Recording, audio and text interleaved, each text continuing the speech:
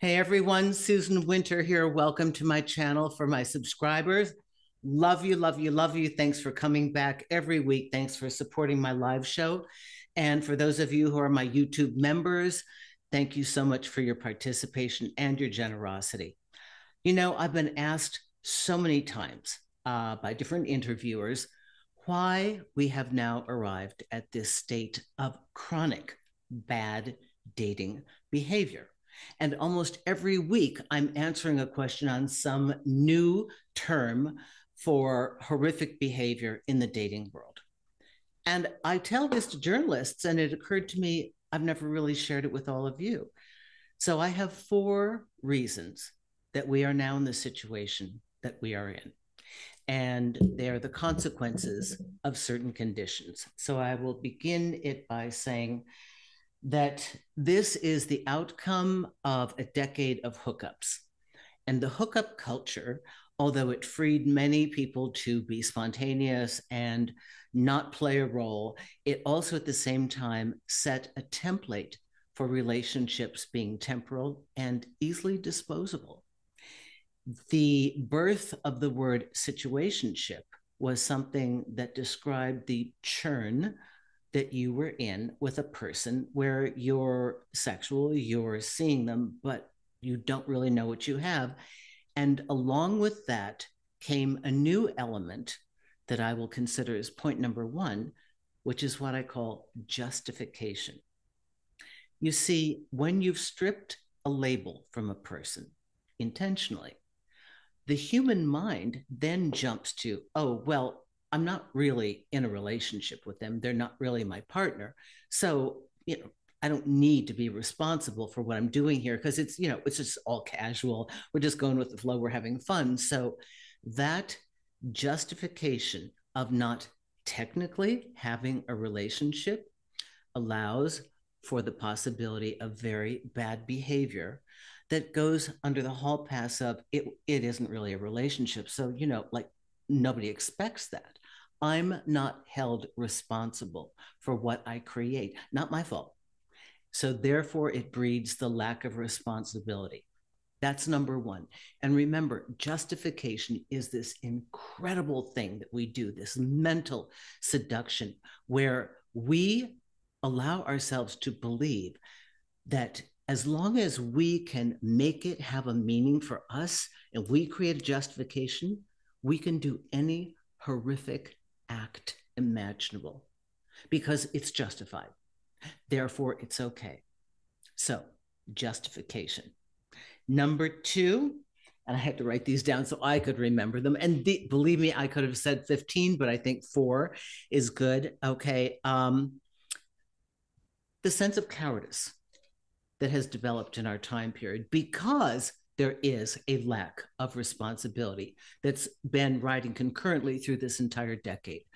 So the cowardice comes from the fact that I really don't want to meet your explosive feelings if I tell you that I'm not into you. I really don't want to deal with the fact that I was seeing somebody else. You knew I wasn't seeing you exclusively. And like, why do I have to now be made to feel badly for that? So there's a cowardice in being honest.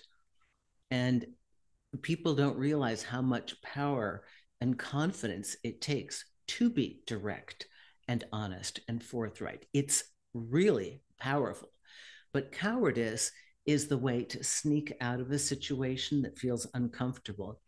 And the other side of this cowardice is that the person has a weakness and they fear retribution. They're cowardice because they might be playing three, nice, nice, you know, they don't want to hurt your feelings. They really got into something. Let's say they're a good person. They got into something. They kind of thought they liked you. Then they saw somebody else and they weren't sure. Then somebody talked them out of it. Then they realized they're just too busy. And then they didn't, then it just uh, wasn't, yeah, but they don't want to say it. They're afraid to say it because there's going to be consequences. And they want to be nice. They want to be a nice guy. They want to be a nice girl. They don't want to hurt your feelings. So it's linked to cowardness in that they don't want to be direct because they don't want to hurt you. So they will probably ghost you or slow fade or just breadcrumb you or put you into orbit because they really don't know what to do with you. And it's because they're afraid to face a consequence for their action and they still want to be viewed as being nice. But the flip side of the former, the cowardice, is just brute selfishness. Like, hey, I don't feel like having that conversation. So, whatever. It's inconvenient for me. All right. And the very last thing that I want to talk about, let's see, I hope I have it. Oh, our ongoing lack of comfort with communication. And this is not anybody's fault.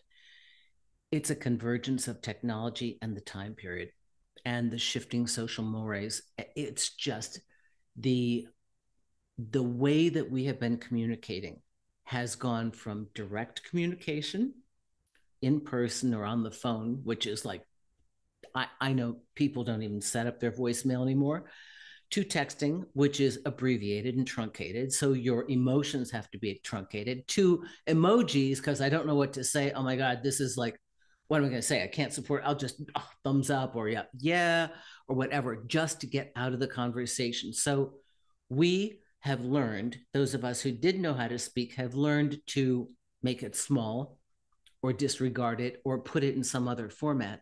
And then generations coming up who've not had a lot of back and forth, personal, direct, real, solid communication because the technology has blocked them, because their favorite friend is their phone, because nobody else does it. You know, the lack of direct eye contact, it, it has stilted an entire group of people. And it makes me worry. So when something happens, you know, what's going to, there's no recourse. Even if you knew what you wanted to say, and that's assuming a lot, you might not have the courage to say it. So, this is where it gets really tricky for everyone. The convergence of all these things, riding in a hookup culture where everything is casual and everything's whatever, it has bred all these horrific terms and we have a new one every week. I, I imagine these nomad journalists go, oh, I'm going to find one. Oh, I'm going to put my name on this one. I'm going to write an article. So I see this all the time. But you know, the buck can stop with you. The best thing you can do as somebody dating in this time period is to up your skills as a communicator, know what you want, be able to, I don't care. I think the you know some people call it bulldozing i uh, you know i have no problem with hardballing it sounds like a vicious term but it it actually means the tactful relay of what you want in a relationship please don't worry that oh if i tell them what i want then they're going to use it against me it doesn't always mean that they might but you will filter out a lot of really bad behavior by beginning to be honest from the get go. And it also creates a chute for people to go through. Think of it as your terms of service or your rules of engagement. And once they know this, it would be harder for them to try to pretend they never heard it. If you never discuss it, people can pretend they didn't see it or didn't understand what you meant. If you are very clear in your discussion, it's not like they can go back and go, oh, um, I didn't know you were looking for like a really honest relationship. And I didn't know you were looking to just date one person. I kind of got confused. No, they can't say it. By filtering, you will be calling in a better quality of people and eliminate heartbreak right from the very beginning. So I have, I've been sharing this before. I've been sharing this in uh, different articles and I've been sharing it in different interviews and, you know, whether it's written or it's on camera. My buzzword of 2023 is filter, filter, filter, filter. I know there are thousands of ways to find love, and we know most of them. But for those of you who don't want to be unnecessarily hurt, look for people who can play at the level you play. Look for people who can articulate what they want just as you can. And if you feel you could do it better, please consider taking a course, you know, or just work with me. I'd love to have you because I work on the communication skills. I never thought that would be a big seller.